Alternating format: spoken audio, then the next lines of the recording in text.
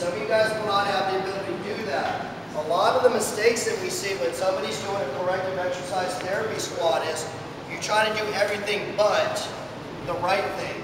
So you try to make your job easier, but in therapy squat, a corrective exercise squat, you can ask Ben as he was doing the therapy we are doing over there, you have to embrace that discomfort. You have to embrace what you're not good at and try to do it. So, go ahead, nice and smooth, nice and easy. Elbows have to stay locked. Tall, pretty posture. Drop yourself in your squat. Now, from this position, hey, I'm perfectly fine with that. Now, if we want to try to develop posterior chain, that's why we jam you into the wall. Because it's the musculature, posterior chain, that keeps you from touching the wall. Oftentimes what we find is, I'll have an athlete here, and they're like, okay, okay, okay, okay, and they end up like this.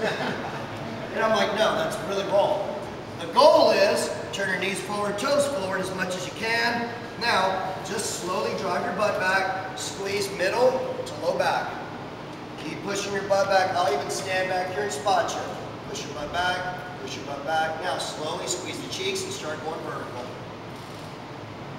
Vertical, find that notch. Very good. And then we do it again. Notice how he dropped his hands. That's what we want.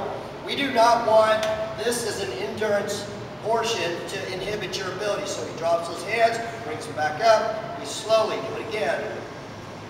Pinching the traps, low to middle traps, pushing his butt back. Notice what happens.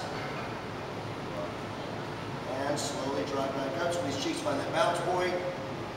And very good. Now, we're going to actually drop his hands, and we're going to bring him out to the side in a Y.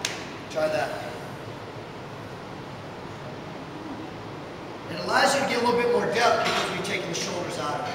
So if you find your athletes and you're truly going to squat today, and I'm going to put a big heavy bar on my back, then I'll allow them to bring this down. Because I truly want the hips to get some work. If I need it to be both, then I'm going to stick those circuits up into his ear. All right.